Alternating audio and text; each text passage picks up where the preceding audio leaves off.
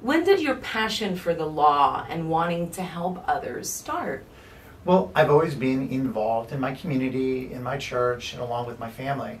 But when I was in law school, I saw that there were a lot of opportunities to help people through the law.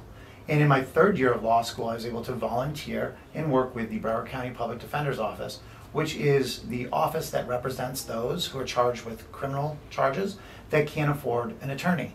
And I saw that people that came into that office oftentimes were lost, confused, and not really sure which way to go in the system. And that was really what sparked my interest in helping people with the law. My passion comes from every client that I help.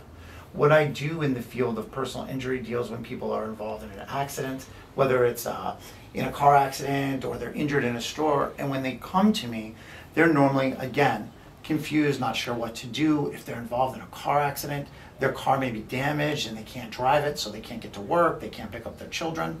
They're injured, so I'm able to help them put their lives back together after that. And each and every client that I help just increases my passion for the law. Well said, well said.